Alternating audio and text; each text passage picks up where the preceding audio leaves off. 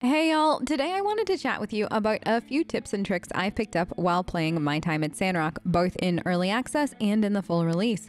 These tips are geared towards the early game experience, and if you're looking to see some gameplay or just want to see the story in action, make sure you check out my full release Let's Play and that I'll link in the description of this video.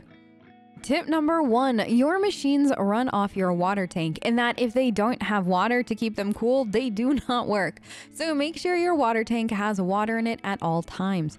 I'd highly suggest researching the dew collector with Qi as early as possible so you can start to farm getting water early. You'll also need water for growing crops, which you will need to do for story stuff later on. So getting a surplus of water early is highly, highly recommended. Also, before you go to bed, make sure your water tank has at least some water in it so you can make sure everything is running while you sleep. Next is the moment that you get data disks, go and visit Qi. Do not delay, go see the space obsessed scientist. He's where you're going to get all of your machine blueprints from, and you really don't want to be caught without some of the basic ones. I'd highly suggest researching the processor and grinder first, as they each only take a day then the dew collector, and then the workshop table upgrade. After that, it's really personal preference, but getting those four things researched ASAP will allow you to complete early quests with minimal fuss. Now, speaking of machines, your assembly station is one of, if not the only thing that can't be upgraded via Qi's research in the early game. You have to do that at Construction Junction, where you can do things like upgrade your house, add on a stable, barn, etc. To upgrade the assembly station, click on it and then click on upgrade and you'll see what you need in order to do so. It does require some materials that you don't get super early in game, so you're in no particular rush to upgrade it. However, it's something worth keeping an eye on. Now, this is one of my favorite tips. There's actually an appearance versus equipment option in the game. So you can equip all the latest and greatest gear and have a cosmetic appearance if you prefer that outfit. You want to navigate over to your character sheet where you equip gear. Then above your character's head, you'll see a little toggle switch. The main interface you're on is the main equipment set, and then when you switch the toggle, it's the cosmetic one. Once you're happy with your cosmetic outfit, to make sure it's working, under your character's feet, you'll see a little box that you can tick that says apply outfit, and you should see now that you are wearing your cosmetic outfit.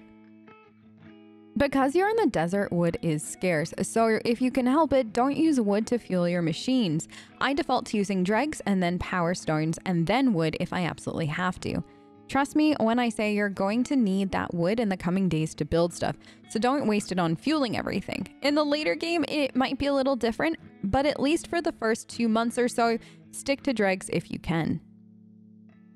I know, I know, this one is a typical farming, building sim tip, but this is one of those I wish I did it earlier during early access, and that is start collecting herbs and plants as early as possible and get a little stockpile going. It's a great way to use up last minute stamina before bed if you have any, and having a nice bundle of sand leeks, lavender, etc. will make your life so, so much easier down the road, especially because there are random quests that ask for these items. The pet system does take a bit to open up in game. However, whether you can adopt a pet is dependent on your friendship level with them. So, if there's a pet roaming around that you want to potentially adopt, make sure you start early to at least talk to them daily or maybe even give them gifts. And yes, I will adopt the Derpy Cat Macchiato if it is the last thing that I do in this game.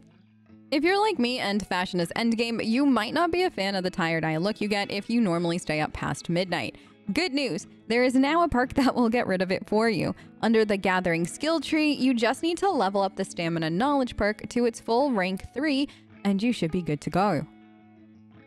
Once you start getting higher level machine blueprints, you have two options. You can either build a new one, which is what I default to, or you can upgrade them. When you click in to build something, there's an additional tab at the top that if you select will show you what you need in order to upgrade the machine. You can even preview this without having the blueprint ready to go to upgrade it. This helps to save space and in some cases resources depending on what you have on hand. If you have stuff to claim in your mail but have literally no space for it, leave it in your mailbox. There is, as far as I know, no limit to how long it can stay in there, so just leave it. Grab it when you have space for it. This is especially useful for anyone who might have one or all of the DLCs, as the outfits do come with a lot of items.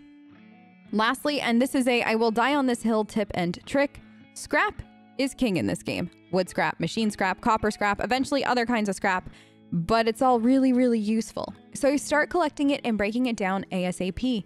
You can find it in a variety of places, and you can never go wrong in the early days having a lot of it. I would also suggest having two to three recycler machines built to handle all the scrap that you are collecting so you aren't wasting time in breaking it all down for materials. And there you have it, just a few of my favorite tips for your early in game time in my time at Sandrock. Thank you so much for joining me, and I will see you next time.